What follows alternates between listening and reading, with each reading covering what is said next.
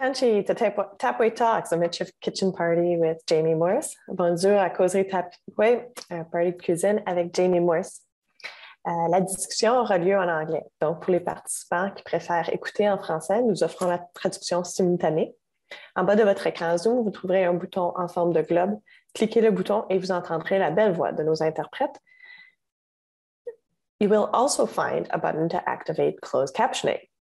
Now, I can't guarantee the accuracy of it, but it might offer occasional good laughs. Um, I do want to mention, though, that it does misspell a number of words and names, so please double check those if you're looking to use them as references later on.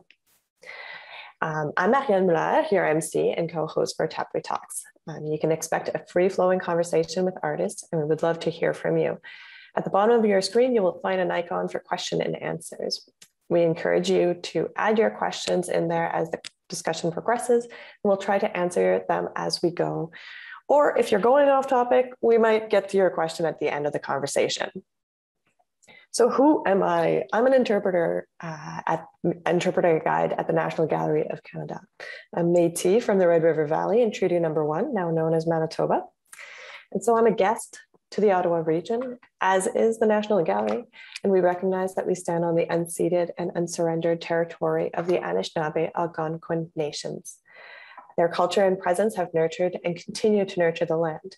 And they are the keepers and defenders of the Kichissippi, the Ottawa River watershed. I honor their long history of welcoming many nations to this beautiful territory and that I am a guest to the Omani Niwag. As a guest, I'm committed to defend and promote the voice and values of my host nation. Now, the media hasn't been doing a good job at keeping up with the number of uh, recovered unmarked graves sites on uh, residential school grounds, but I do want to take a moment to point uh, to the fact that we're at well over 2,000 sites now.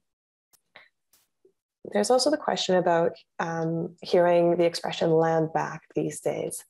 And these two topics, along with the land acknowledgement, all refer back to the land. And today we want to recognize that International Day of the World's Indigenous People is on Monday. And the theme this year is Leaving No One Behind, Indigenous Peoples and the Call for a New Social Contract. So what does land and uh, have to do with leaving no one behind? Well, we're people of the land and accessing, having access to it and the rights to its stewardship is what allows us to come together and ensure our well-being. It can provide us with food sovereignty and it can connect us to our culture and find our pride in it. Our homeland is where we come together. Regardless of your nation or where you are in the world, we connect to the land that is Mother Earth. So today we are going to touch on that. We'll talk about our connection to the land. And to do that, I would like to welcome Dr. Nicole Blackwood, who is Métis with Ukrainian heritage on her maternal side. She is a professor of art history at the Savannah College of Art and Design. She earned an MA and a PhD in the history of art and from London's Courtauld uh, Institute of Art and has taught at several universities in North America. She's held fellowships at Harvard, Yale, and the University of Toronto, and has worked with collections in museums in Canada, England, and in the United States. She's passionate about sharing the history of art with broad audiences through her teaching, writing, and public lectures. But currently living in the United States on what is Yamacraw territory, she is a member of the Métis Nation of Alberta uh, and was raised in Treaty 7. And she's joining us from North Carolina. Hello, Nicole. Hello, thank you, Arianne. Thank you. Um, and then joining us from Australia, we have Danie Mellor, who is a contemporary Ngadjonji rainforest people artist whose multidisciplinary practice explores the intersection of contemporary and historic culture. In considering Australia's recent and ancient past, his work traverses the breadth of the narratives in relation to global art histories. Danie's reevaluation of iconic landscape tradition is informed by his connection to place through to place through Aboriginal heritage and ongoing preoccupation with Australia's landscape. Danie's work is held in regional, state, and national collections and international museums, including uh, here at the National Gallery of Canada, the British Museum, the National Museum of Scotland. He's also won a number of awards um, and has previously held positions of lecturer and senior lecturer at the National Institute of the Arts, ANU, and Sydney College of the Arts. Um, Danie is joining us from Bowral uh, near Sydney in Australia. Hello, Danie. Hi, Arianne. Thanks for that introduction. Thank you. Thanks for joining us. Finally, um, our final guest, Karen Joyner, is Eeyou with Greek and Irish ancestry on her paternal side.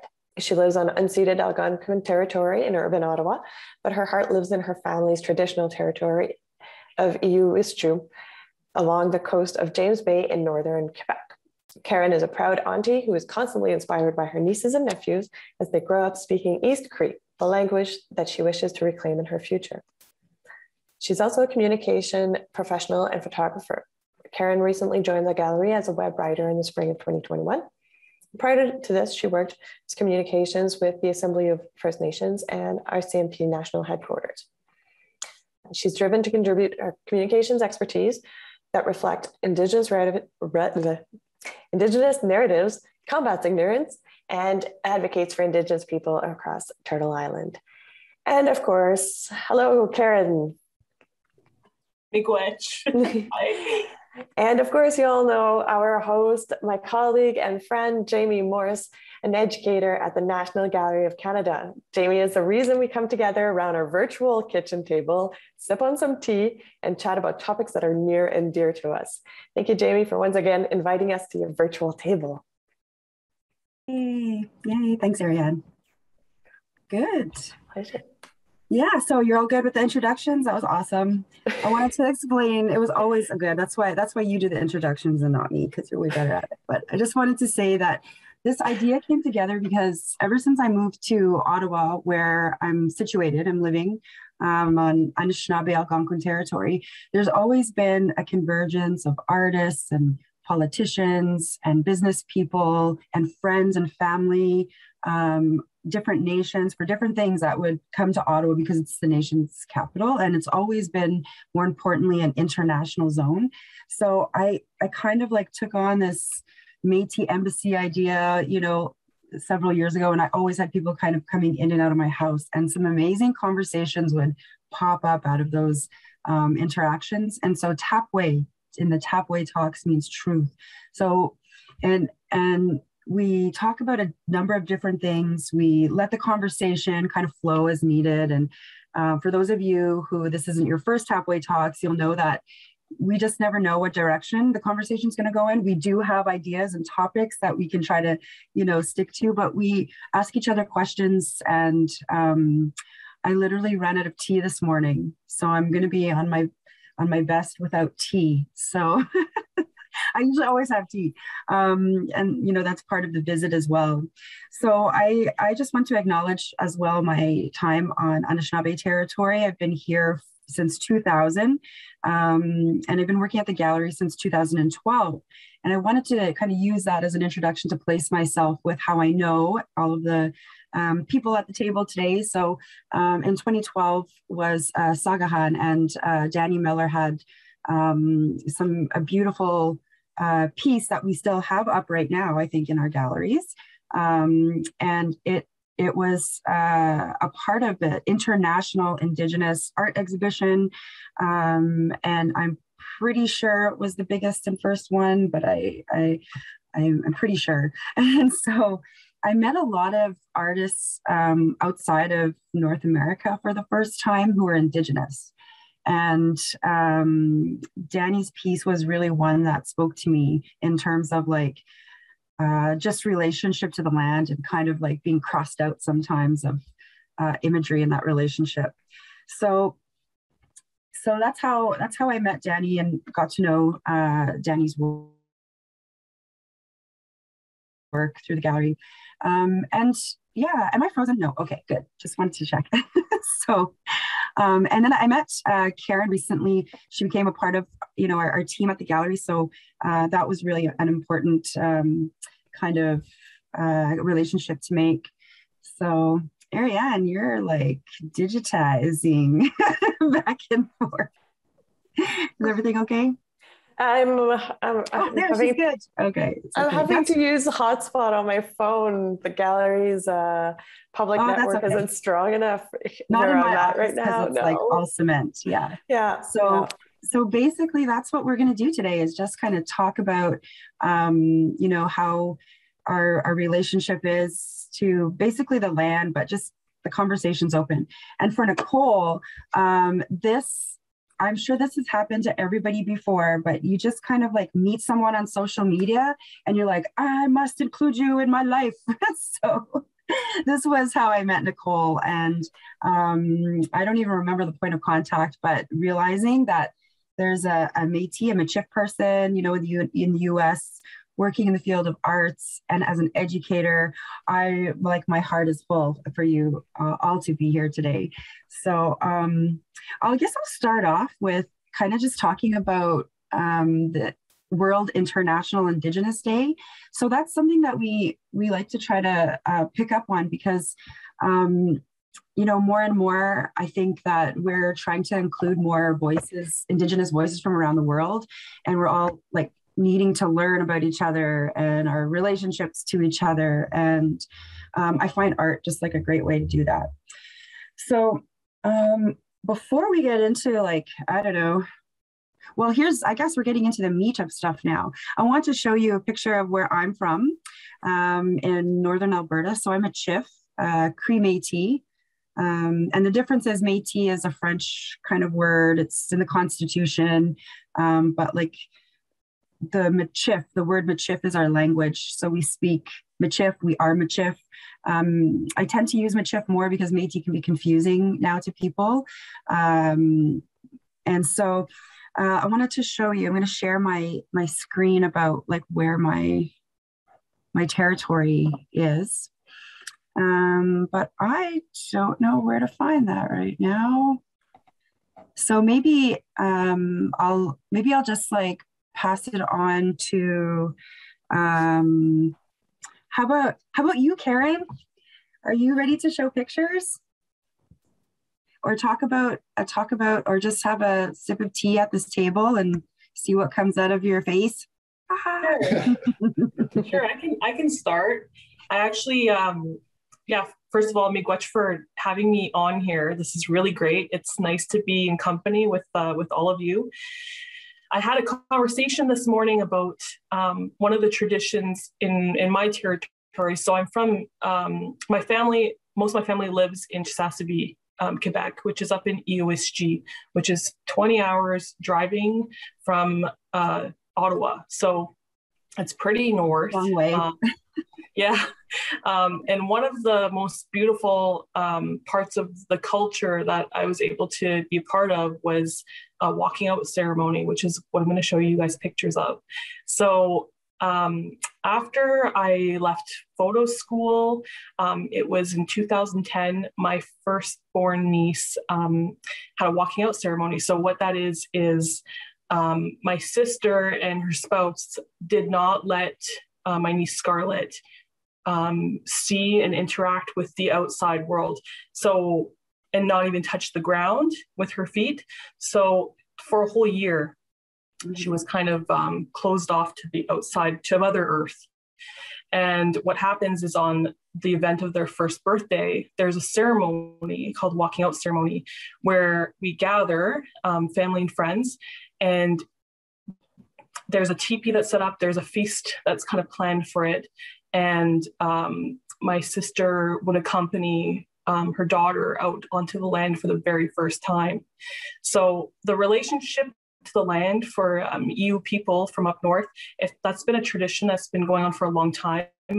Um, unfortunately, um, my siblings and I and my cousin, we um, never had the opportunity to do that because of the impacts of residential school. My grandparents are residential school survivors. So they didn't carry on the culture. So it kind of skipped a couple generations. Um, but they were totally involved in um, this walking, these walking out ceremonies for their three great grandchildren. And it's just so beautiful to, you know, see that being reclaimed and see that being like revitalized and um, it was just nice to have them involved in that and to see that happen in their in their lifetime. So um, I took I have four pictures to share. So I have first... a friend actually who lives in Ottawa, and she did the same with her with her son, and like trying to do that in Ottawa, and for a oh, whole oh, year, yeah. like in an urban center, and she did it.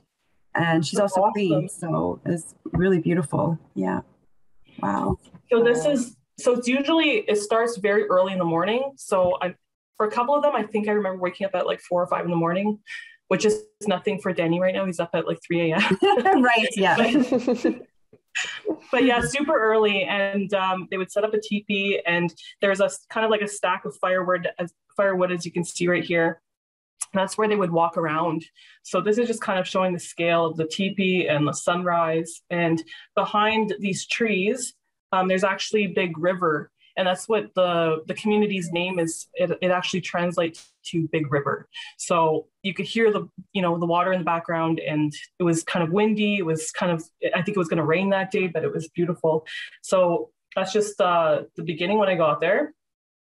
And then oh i can't i can't oh okay yeah. So this is her and uh, my my niece Scarlett coming out of the teepee for the first time. So they're dressed in, um, you know, traditional wear, um, she had little tools around her. Yeah. Kind of, oh, that's cute. Yeah. They pack a little a little mini thing of firewood and fire, firewood in the back of her uh, back there, and she's holding a little axe. Uh, mm-hmm. It's very cute. And then she has gifts for her her great grandparents. So when they come back in, they give gifts. Oh.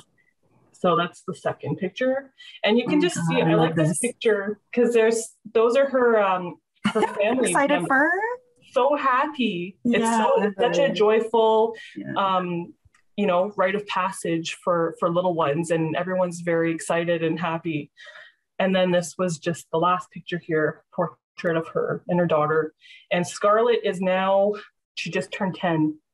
So and she's done this my sister's done this for all three of her children and um yeah it's just a really beautiful tradition and it kind of shows it kind of you know it, set, it sets the bar for your relationship with the land um, as a young person so mm. even the look on scarlett's face coming out of the teepee you could tell it was just she was overwhelmed with the beauty around her mm. and uh, yeah those are the most oh, powerful wow. events that i was able to photograph so i'm really happy to share this and, and share that tradition with you guys Oh, they're beautiful. Thank you for sharing that. Anybody else's eyes are tearing up I know. like it's a little sting it's happening. so beautiful. It's absolutely beautiful. Like um, yeah, I'm in awe about that. Yeah. Well, thanks. Thanks so much, Karen. Um, Danie, I know you had a few pictures. You were like the start of this, you're like, can I show these pictures? And I'm like, oh my God, copyright. So then I had to go and then they're just like personal. so these are some of the issues of working at the National Gallery, but we found a way to I show understand. pictures of our own. Yeah. So yeah. I'd love to see yours. Sure. Well, thank you for that slideshow as well. That's pretty special to mm-hmm. see those images. And I, I, should add while I'm talking now that I'm I'm coming to you from a uh, placed in the Southern Highlands near Sydney. Um, it's on it's on Gundungurra country. That's the name of the local people here. But I'll show you some pictures from up in the rainforest of North Queensland. This is the area of um, Ngadjonji people, um, which is from where my family come, from a particular place called the Atherton Tablelands. And um, a, a, couple of images that I'll show, I'll, I'll talk through them and it'll give you an, a, a sense of the uh, the landscape up there. So just to give you a sense of geography, this is where I am in the green spot. I'm broadcasting to you from there. And if you look up to the north of Australia, that red dot is where we're going to go with a few images. So um, we were talking about long drives before. That drive there is about 27 to 30 hour drive. So it's a fair few miles. So it's quite cold where I am, but nice and warm up the top. Mm-hmm. So these are images of the um, of the wow. rainforest around that area. It's um, it's a really special place. It's it's was once volcanic. Um, there are areas of Gond- Gondwana rainforest which are several hundreds of millions of years old that have been in place. So when you walk through these environments and those ecologies, there's a real sense that you're walking um, in amongst an incredibly ancient and almost primordial sort of space. It's really quite, it's overwhelming in many, in many, many ways. And it's so, so rich in life. Everything's very green and very humid. Um, so this is um, an area that is a, a, place in it's just a little bit south where I my, oh, my family comes from, but I'm close with a family down there. This is wow. country, so it's a very important, significant site, as as we all know. There are special, significant sites in every piece of country, but this is where um, a story of a man, a, a, a legend of a mythical man called Gidigara um, he walked through this area and he was very important because he, he gave language um, to rainforest people and basically the world. So he gave names in language for pretty much everything under the sun and moon. And this is one of the areas that he walked through. Wow. Um, there are really quite amazing kinds of, um, as I say, these prehistoric animals. This is Gundoi, and that's the language word for cassowary. And this is an incredible sort of bird that roams in the rainforest. So I was very lucky to get this shot. They're quite shy. Um, but looking there, and the one on the right is I also shoot in infrared. So I'm very interested in my work in how we translate the visible world or the landscape into a conversation around culture and ancestral presence. And infrared ph- photography I've found has been a really useful kind of way of talking about things that are unseen being made visible. So just because things are not immediately within the visible light spectrum doesn't mean they're not there. So when you talk about that invisibility of infrared, you can then talk about how those spaces in landscape are spiritually significant. And there's a, a whole sort of narrative and understanding and connection to those spaces, which is subtle and often intangible, perhaps. So that's been sort of one of the strands of my work over the last few years. And um, oh yeah, it's very important to look up in the rainforest. There are beautiful sort of canopies. Oh, they look like flowers almost. Yeah, they're incredible leaves. Yeah. They're quite large. They're very high up, mm-hmm. but you get mm-hmm. this really atmospheric, just phenomenal sort of. It's another landscape in a sense. It's a skyscape. It's so beautiful. It's so beautiful. Yeah, it's it's really just incredible. And so this is a, a work that I thought I would um, show you as well. It's a it's around about a 13 meter um, infrared landscape. Um, so this is one of those things that I thought would be quite important to kind of do and to talk about that idea of connection to land and space, but also to look at how Aboriginal people are very much part of that landscape and, and live in that. Um, I guess that environment and have been there for so many thousands of years. So this, in a sense, was a really powerful way, I thought, as a tool of photography to, to refer not just to those histories of late colonial photography that are part of, um, you know, your cultures and our cultures over here, um, but then to begin to address the power of imagery and how infrared or, or, photography can take us through into other worlds and begin to appreciate those sorts of intangible, unseen things. Mm-hmm. Speaking of There's... intangible, unseen things that I don't know why this is, it reminded me this was like on a, on a minuscule level. I was I was on a meeting and I felt this like little bite and it was a tiny little red bug, but I could not find it, but I knew it was there. And I was just like, I found it. But I feel like using, you know, because you talked about infrared and that's kind of like how my mind works. And the unseen and red, I picked up on that. so but I think it's I think it's true. I, and, and like I said, I was completely connected because my grandma had all these blue willow pattern plates yeah, right. and yeah. brown ones, and there's like no animals in them and no people. And I was just like, I know this, I get this. Yeah. So yeah, taken from the land. Yeah. yeah. There was one of the picture that you showed us with the river if it wasn't for the palm trees, you would have thought that it could have been taken over here on Turtle Island just because the way the river flowed, the rocks that were there, the leaves, mm-hmm. everything mm-hmm. looked it looked so familiar for me, even though I've unfortunately never set foot in Australia. Well, there's rainforests in BC. You know, I think about that too, yeah. and they're not probably anything as like I don't know if they're.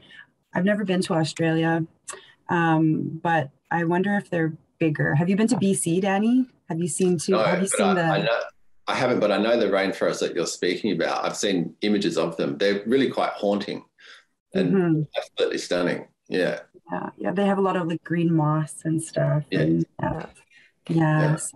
And they also hold a lot of significance to the indigenous people from the area. So there's that yeah. connection that we see around the world where we often find ourselves connecting to the land and having that the land being a point of spirituality, I suppose. And it and yeah. it also makes for like diversity in terms of like the most diversity of indigenous people in Canada is BC.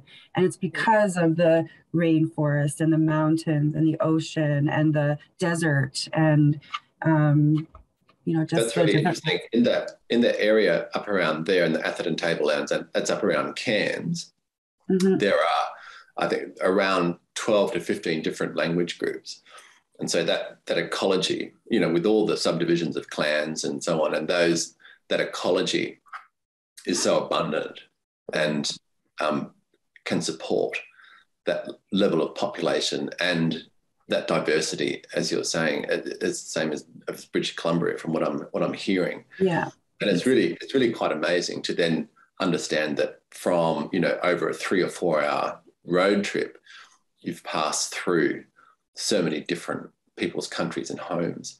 It's yeah. really it's a, an amazing thing to experience and be part of. Speaking mm-hmm. of traveling and going through places, Nicole, you're also traveling a little bit right now. In transit? In transit. Typical, typical of a Métis person. yes, I feel at some level sort of always in transit. Um, mm-hmm. It's because it's in your blood, it's in your heart, and that's why it's okay.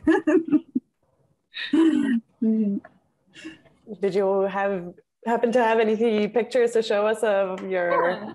Yes, I do. So I just want to say thank you so much for inviting me. I, I feel um, listening to your stories, Karen and Danie, it's this kind of um, moment of both discovery and capturing that I think you're both sort of speaking to. And I think that's something that I've been in a kind of um, process of as well. So I was um, first generation to be born in Calgary and was raised in this urban environment, so somewhat sort of disconnected uh, from the landscape in some way or form. But many of my maternal and paternal ancestors uh, had lived in the region of what became known as Alberta since really the early 1800s. Um, and they settled there from come, arriving first from Quebec, uh, from the Red River settlement, from Galicia, and from Assiniboia, which um, became Saskatchewan. So a lot of sort of movement in that in that history. And the story of why they ended up in Alberta was not always really known to me. And so as a historian, I've really spent the past few years trying to unravel and sort of um, piece those those uh, moments together. Uh, mm-hmm. Uh, and part of that discovery, I think, is what has kept me connected to that place. Even though I haven't lived in Alberta for more than 20 years. So I've been in some ways displaced from that sort of originating birthplace. Mm-hmm. Um, but when I think, as you say, Jaime, back to the history of the Metis people, there's always been something of a kind of nomadic culture to it. Mm-hmm. Um, sometimes my ancestors stayed only a season in a place, sometimes one or two generations. Um, sometimes they left freely in order to seek new opportunities. Sometimes they were forcibly removed. And I think it's that sort of intergenerational trauma um, and internalized racism of displacement um, from the Red River in the 1870s that caused a certain fracture of that paternal story that I'm sort of seeking to recover. Um, and it's it's it's sort of amazing to think how easy those narratives are, how how easily they're lost, um, muddled in sort of miscommunication, um, sometimes unfortunate premature deaths um, shame, internalized colonialism, and it's really a process of rediscovery at some level. So um, that has been my journey, and it's made a little bit more challenging the past two years with COVID. So I haven't been able to return home that frequently, and really this um, think it was about three weeks, two weeks ago now, I was able to go home for the first time in over two years. And it was a real sort of moment of rediscovery. So, one of the things that I did there uh, was visit with my uncle, and he took me um, through some photographs. So, I wanted to share one of those photographs with you that he shared with me of my paternal. Um, uh, let me I love here. that you went with your uncle. I just, that was my kind of intro too, my dad and my uncle. Yeah. It's your handsome family. So this is my uh, great grandfather, uh, and this is him uh, here, uh, sort of next to this sow, which is in uh, Medicine Hat. And I think when we think about home, part of it is um, those relationships. So for me, it's not just simply a document, yeah. photograph, of my paternal great grandfather, but actually the sharing of that through my uncle so for that i'm, I'm very grateful. And then another side of this is, is connected of course to the land. And one of the things that i was fortunate to do in this in this trip back to alberta was uh, visit jasper house with my father. So we went to jasper house which is also a place where my metis ancestors traded in the 19th century and although Jasper House, the physical structure of Jasper House is no longer there, you can get a sense of the landscape and just standing there with my father, um, speaking the names of our ancestors as the river flowed against this backdrop of the sort of solidity of the mountains was a way of sort of honoring those uh, ancestors, but also of returning home. I think when you go to a place you know your ancestors have been, there's a there's a there's a spirit there, um, and it's it's an important process of recalling that that memory. And so that cultural memory, that place memory, is. Uh, a matter of really profound importance for everyone, Indigenous, uh, I think non Indigenous, um, and how you go about recovering it, I think, is one of sort of activation and animation of actually traveling. And so, mm-hmm. um, and moving in the spaces um, where they once were. So that's sort of some of the things I wanted to share. I love what you said about the activation because it, it's so true. And we've done even a couple of artworks at the gallery that require activation mm-hmm. for their full potential to be reached, right? So we have mm-hmm. like the maker space with Joar Nango and um, the storytelling element is so connected to the land and and that's that's the i love that's the activation of the land too. You know it, it, activates itself in many different ways but our human connection is often through those stories. And i and i think also an immersion um, and that's what yeah. i think Danie's work also really speaks to is that sense of a kind of the multiple panels and the immersive experience of of experiencing it on a, a larger scale. Yeah. Nicole can i ask with that mountain that's around about two thirds along the photograph to the right. Mm-hmm. What do you know the name of that mountain? What's that? What's the landscape here? This is in Jasper, Alberta. So this is along the Athabasca River. I don't know the specific name of that mountain. I wish I did, um, but is that like the, the middle mountain kind of? Is that this one here? No, it's over on the right. It's yeah, that quite oh. extraordinary oh. one. I I I'll, I'm going to look at Google Earth after this. This is phenomenal landscape. Yeah. Mm-hmm. Oh, Jenny, next time you come back to Canada, you've got to go to Jasper and Banff, and there's lots of places to check out. yeah, I, I, when I was in Ottawa, I, I, really enjoyed that time there. But of course, it, it, you always feel that there's there's more to see. Absolutely, and, and like it's just right outside the city, some of it too. And I can't. When artists come in, we don't always have enough time to go there, and yeah. Yeah. So that was it was jam packed scheduled. So it, it, was a great time. But yeah, you have the sense there's there's a lot, and people who were there as well had a lot that they wanted to share, and you yeah. Could, I felt uh, frustrated in a really good sort of way. Yeah. Knowing the that, knowing that there is, there is actually there would be this incredible hospitality, and if you were able to make a journey, it would be a phenomenal sort of experience. Yeah, absolutely. So Arianne, do you want to show your photos? Because um, like I think one important thing about what Nicole was saying too is that you know, so my Métis experience doesn't include mountains. Um, Arianne's ex- Métis experience includes much more French. Um, my, you know, my Métis experience is really close to the Cree experience, actually. The the because you know we're on the border of tr- Treaty um, like six and Treaty eight. So actually, where I'm from, it's I'll show you guys after.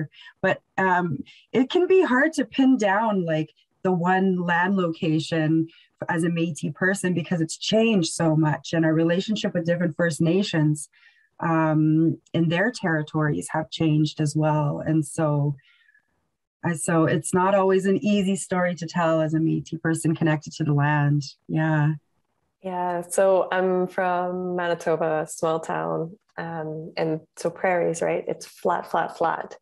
Um, unfortunately, I can't, couldn't find the picture I want or the picture I wanted to share. So I settled for the second best. And unfortunately, the second best wasn't so great either. So I'm going with third best here. Um, so this is a picture that I, um, from a couple of years ago.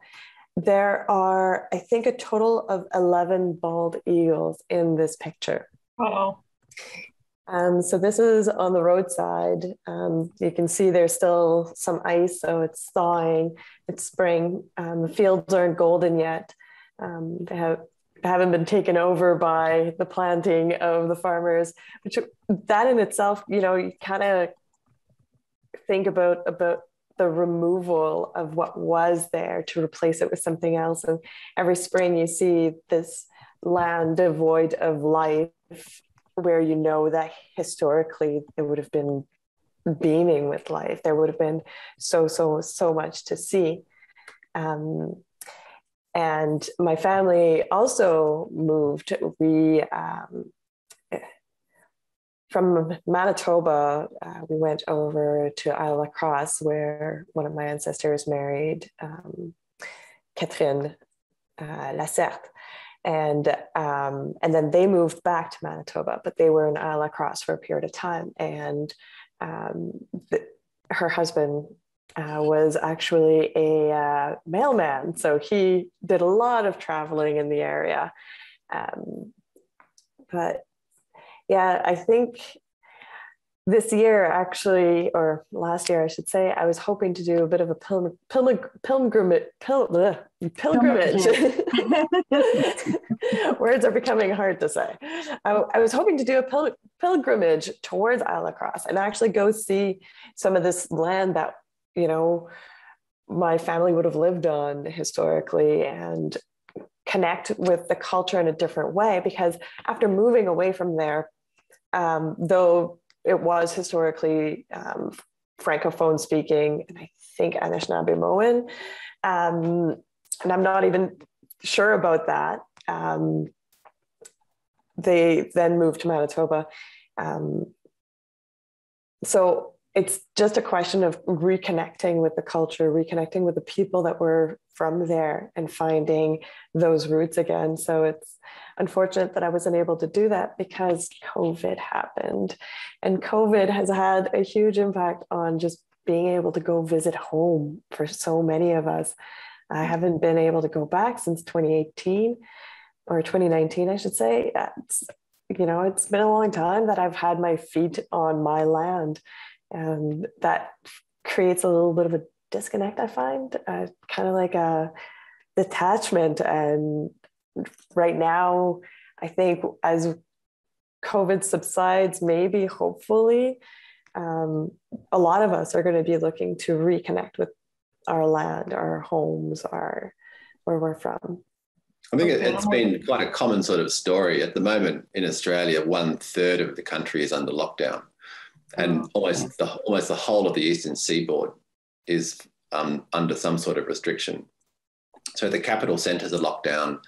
Um, in regional areas, um, there are really quite strong restrictions. There's no there's no travel between states, and so in that sense, where you face that sort of those obstacles of travel, um, same here, has been one of those things as well. And it, um, we're always sort of careful as well, because if you travel from somewhere else to um, community, there's always the risk of transmission. And mm-hmm. you know, some of the Aboriginal, older Aboriginal people are certainly more susceptible. In the remote communities in Australia, they actually created biospheres where there was um, literally there were very non-porous kinds of um, boundaries and limitations placed on community interaction. Um, there was no visitors that were able to go to those communities. Um, and so it's been very carefully played in Australia that we can't leave the country. We don't actually have permission. You need a very good reason to leave the country, and it's very difficult to actually get back into the country. A, a kitchen table talk is that a good reason to leave the country? or no? well, via Zoom, yes. There you go. well, I hear yeah. you. I'm here. I hear you, Arianne and, and Danie, on, on being kind of restricted over the past couple of years. Um, it's weird. I mean, I'm thankful that like technology exists, but I have not hugged my nieces and my nephew in so long. And uh, I was just able to reconnect with my brother um, last weekend, and like he's just describing how tall like my niece is almost as tall as me and you know it just time flies time flies and over the past couple of years it's going to be it'll be a really sweet um, reunion for a lot of people to yeah. to reconnect with their family members that are, are far away for sure. And you know and the other thing just to add to what Danie was saying one of the restrictions that i've felt i've really wanted to go home. I, my dad's you know begging me to come home. I've never seen our berry patch. Um, you know, every family has a berry patch, and I was really looking to, forward to finding it this year um, with him. But uh, some, yeah, the vaccination rates are, are not huge either, and so it does um, kind of, you know, affect my my travel when it's it's family and people that you know who aren't. Mm-hmm. Um, and then you know the fourth wave and stuff. So it's it's really yeah it does affect it has affected our relationship with the land I think and and traveling to some extent. Yeah. Mm. So thanks, Arianne. Um, I found I found how to share. So do you guys want to see where I'm from? Yeah. yeah. Okay. For sure. Uh, let's see. So I didn't do like I didn't do all global like Danie did, but I thought that was a great idea. I'm just like, yeah, because that's you know how our world is. It's round. And but this is Canada, so I just in the context of Canada, you can see where Fort McMurray is. Can you guys see my slide? Yep. Okay, good. So it's in between like Edmonton and Fort McMurray. And that's like where the Treaty 6, Treaty 8, and Treaty 10 all converge. And I, I think I was confused forever about what treaty I belonged to because, like, literally they converge in that one spot. So in Alberta, um, this is where I grew up in the on the green dot place called Lac La Biche. This is what it looks like from an aerial point of view. So it's, it's right up on the lake, and this is not an indigenous town per se. This is a, a mixed town of um, French, English, Cree, Dene, Métis, Lebanese, uh, and Filipino. So it's a very diverse community in northern Alberta. Um, yeah, so that's just like the main drag uh, of town. I've done thousands of laps on that street. And um, this is a my picture of my grandma. She is a Fisher person. I mean, that's one name for her, but she was so many other awesome things. But in the back is the mission. And this is the old kind of like technology, Métis technology, the York kind of ideas of the York boat. So they're very different than other Fisher people in the area. Um, so she, so that's my dad's mom. And here are all the settlements. A lot of maps. This is all still context for you guys. Lac La Biche is here. My dad lives here. It's a, a Métis community called Buffalo Lake Métis Settlement, and there are eight in the province. And this is also our kind of territory. This is Lac La Biche. This is my dad and his brothers, and this is where um, like our land is. So this is called a historic site, and the Oblates um, uh, kind of started this mission, and the HBC was the Hudson Bay Company was very prominent in our area. Uh, so, um, what you're looking at is actually where our community is about to do one of our ground searches. Um, so it hasn't been done yet. And for I don't know if Nicole and Danie are um, aware, but we're doing. Uh, there's a lot of um, ground searches that are happening at the sites of former residential schools missions.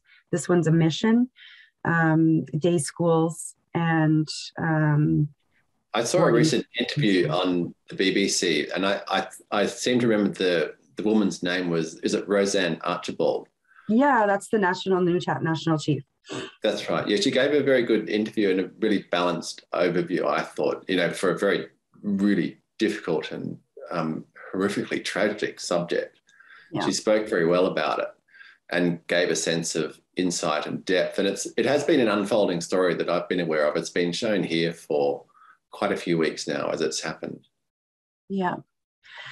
So I mean, I that this yeah. So it, it and I have seen like reports in BBC too. So that I always think like that's you know a global source that many people go to. Um, and so if I see stuff there, I'm like, okay, so people are getting to know this is happening around the world. And um, you know, just where the the church is on the other side of that church is a um, I don't want to show any pictures of it, but it's a um, an outline, like a cement outline of where the priest's house residence was. I forget what they're called, like, but um, there that's one site underneath the house of the priest that will be um, looked at. And yeah, this is where my dad went to residential school, and um, Métis people who went to missions, day schools, or boarding schools, so not residential schools, even though this was a residence, haven't been compensated or an apology has, and yet we're ready to do this ground search where we're bringing, bringing home our babies. You know, so um, the numbers are are very very skewed because we we haven't included everybody and everything, but um, yeah, so that's that's our, our main territory called the mission. And this is where my dad does his fishing on the lake. So I wanted to not end on, you know, there's two, there's there's there's emotions attached to different parts of our territories and our lands now. This is a good one because you know we're fishing and he's giving us traditional knowledge uh, and about how to set set uh, nets and stuff like that. So I'm going to stop sharing. Um, that's just the stuff I do with the fish scales after, but that's not what I'm going to show. So looks so nice. Yeah. We had a question um, earlier. Yes, about, I saw that about land acknowledgement and how to make them more than lip service. And, well, I think what we're doing here, like I, I read that question and I was like, it's such a good question because I'm trying to stop my presentation here, guys. Um, um, so I think that what we're doing by by placing ourselves from our own communities and, and lands is is one way to to kind of do a land acknowledgement. Uh, might need a quick. I, I, I, just can't. Oh, there. Thank you. Whoever, whoever did that. Um, are there land acknowledgements um, done anywhere else? Like we've got Nicole and Danie. Um, like, are they, they are. done? They're, they're, part of, and become more so, part of um, the beginning of, of public functions, but also um, where there are private functions as well, if it's appropriate. And it's always an acknowledgement of traditional custodians of that particular area. So um, when I started off, I was talking about being in Bowral, it's Gundungurra, but we call it we call it country. So it's the, the country of the Gundungurra people, but we refer to it as Gundungurra country. Um, up around for where I'm from, depending which language group or which country you're on, that will be you know Judabal or Mamu or Irukandji or Kukuyalanji, that sort of thing. So, and I, I was listening quite carefully to the way you were introducing the the session as well. And um, it has much the same ring to it and, and sentiment. And in response to the person who asked the question, do it with feeling and with a sense of sincerity, I would say. Yeah. And, and relationality, that's my always, my thing is always like, how, how are you related to where you are right now, you know. Mm-hmm. So yeah, I like that you did that. So we have only 10 minutes. See how fast this goes. And like we're just getting into getting to know each other and our territories. And now I have a new question for you. This one I ask all the guests at the end of our chat. If you were sent to the bush for an unknown period of time, I'm thinking like a year ish. You don't really know though, so it's uncertain. And I would say bring your favorite, but it's not about favorite. It's about what would you bring for one book, one piece of art, and one piece of music for this unknown amount of time that you have to be able to read to read over and over, listen to over and over, and look at over and over again. So I'm gonna start. I'm gonna start with I'm gonna start with Karen. I knew it. yeah. I yeah, I thought about I thought about this and yeah, so if I was sent to the bush for a year, um I I've been talking my brother's very like influential on my life with my with what I'm reading, with what I'm listening to, and a lot of it's kind of inspired by him. Um, but he's been he's been bugging me for a while to read Five Little Indians by Michelle Good. I oh, have yes. it. I have not started it yet, but um, I'm I'm a type of person that needs to read one book at a time. So I'd take that with me. And for music, um, I would probably take um, any of the albums by my favorite band, Fleet Foxes, which was also inspired by my brother. He got me really into them. What are they called Fleet Foxes? Yeah, oh, yeah. They're kind of like a like a folk band, but they're really good. Nice. I saw them. Uh, I saw them twice with my brother. And for for art, there's so if I need to bring an, an artist artist's work, um, because I was thinking about this if I were sent to the bush and I were just to practice art, I would bring like a bunch of beads because I've been beading a lot. A hood, bring um, a, a, beaded hood. Yeah. yeah, yeah, cool. yeah, for sure. Yeah, but mm-hmm. if I was to pick a an artist, I'm really, I really, really love Kent Monkman's work. I think that it's very, um, I mean, it's it's. I know what you want to look at for a year. Just kidding. no but it just it ties in the his, it ties in the true like history like in an indigenous lens and i think that that's so necessary in this and in something this we haven't seen for like you know yeah. yeah. So everything that he does i'm like I, i'm really into it. And each little picture has like a whole big historic story about it. And i think that's what's fun about picking out you know little parts because you can look at that for a year and just yeah find things over and over. I love that. And also, before I, I pass it on to the next person, your earrings. Tell us oh, about your bling. my earrings are made by my friend Stephanie Pelche. So she's uh, in Ottawa and um, she goes by Delia Estelle Designs. She's super good. I buy earrings from her all the time, and they're always like super nice, and they're very lightweight, which is important because I don't want them too heavy. and yeah. what about yours? Um, yeah, so this is part of the thing. This part of the thing, you guys you just have to hang in there, Danie. Um, I'm wearing Joi Arcand's a stem earrings, so it just means in Cree, it means come here. And if it was a stem with day, it would be come here now, but it's just a stem. So, oh wait, is it? I think it is. I just want to. Yeah, yeah, yeah. Oh, good, because sometimes they say a was, which means go away, and that's a different sentiment. one on one side and one on the other side. Yeah. yeah. Turn the other cheek. Turn the other cheek. Show. Yeah. So what about Turn the other ear? Hmm. Your book, your art, well, your music, and your earrings. well, my, my, I'll start with my earrings. Uh, my earrings are actually by a local artist group in Charleston, and they're of grouse feathers. Um, so oh, I love that. Really interesting, sort of feathered um, bow ties and jewelry. Uh, but I think for your question, because it is my 14th wedding anniversary today, I think I'll have to just say, oh, congratulations. He's going to provide you the book, the music, and the art. exactly. All of them. All of the above. awesome. anniversary. Yeah, that's a nice dedication for him. Thanks. Okay, now really, what book and what piece of art and what music? You're not getting away with this one. Yeah. Honestly, I just you don't have to you don't have to. But um, I love this part because I just there's so many new books by indigenous people. And your book might not be indigenous, but I just love to, you know, promote uh, other indigenous artists in different fields too. So it's sort of why we talk about this one.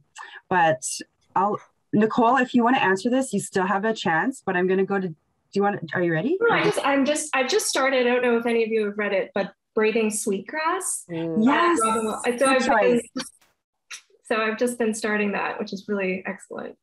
Yeah, super. Hey, Danie, do you have your list? Do you have your thoughts around being well, bush for a year? I'm, I'm thinking on my feet because I didn't do my homework. That's okay. It's not real homework.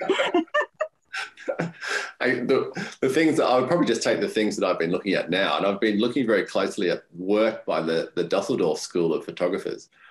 And, you know, that includes Andreas Gursky, uh, Thomas Struth, uh, um, Thomas Ruff.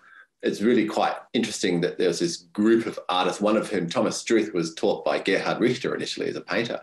But I'm really interested in the way that they approach photography with that large format, mm. very sort of considered, really calculated.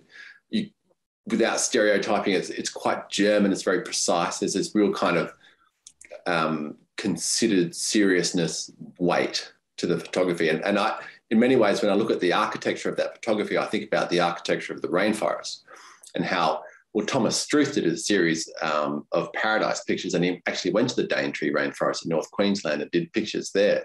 So there's a really sort of interesting parallel that I find in terms of the structure and the formality and mm-hmm. thinking about composition. So um, in a way, that would have to double as my art and book. Um, in terms of music, I, I would have to just say I would be taking my whole selection and just play whatever the mood grabs me. And I would also, if I was going to make art, I would definitely be taking my camera and iPad and a few other things and, and lots and lots mm-hmm. of memory cards. Well, you're on like a camping trip now. yeah.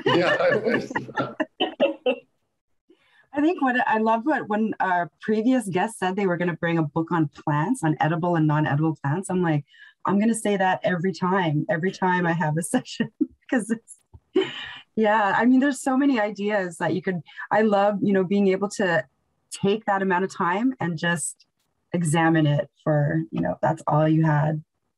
That was all of the input and inspiration outside of the, the bush around you. So, um, your earrings, did you want to make a comment about? No? Okay. Um, well, I'm, I'm really left out on that one. okay. no worries. Arianne, your turn. Oh, um, book. I'm gonna cheat book and art here. I I would actually take the everybody cheats during this game. It's I know. I know. Is it cheating? Really? Um, I would take uh, the catalog, Abadakone's uh, mm. catalog.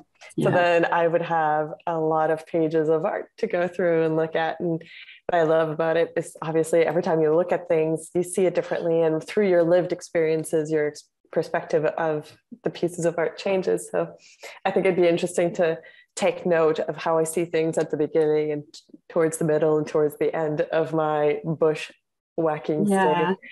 um, the piece of art, I'm going to go with Joar Nango's um, Sami Architectural Library because I think it would provide me with a little bit of a shelter as well. So it's mm-hmm. a piece of art and shelter. And there's a TV in it. Ooh, and there's a TV. um, what I like about it is also the reminder of using what's available and what's accessible to build out your space, um, that you don't need everything new, that things are right there and available and ready to be used. So I think that is would help inspire me as I stayed in the woods for an extended period of time. And music, um, I am going to plug our the music that started the yeah. the, the Tapwe talk. It was Cris Derksen, um, the violin music that we heard at the beginning. So I would take uh, one of their records with me. And actually, that's whose music we had during the Alex Janvier exhibition at the gallery. So yeah, that's I love really Cris. Mm-hmm.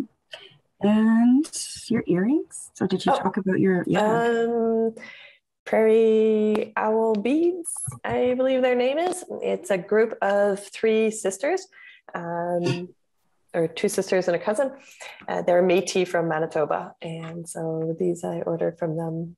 They suit ago. you perfectly. Thank you. Yeah, Derksen. Yeah, Cris Derksen. I just put it in the on the side. So wow, that's two o'clock, but I'm gonna like I'm gonna squish in um, my music. I've been really into Snotty Nose Rez Kids lately. Yes. Bougie Native. I'm just like I'm into the Bougie Native song.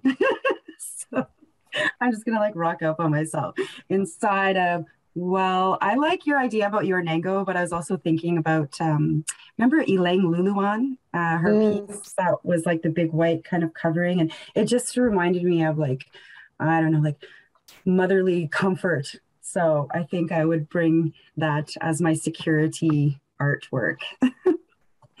and a book.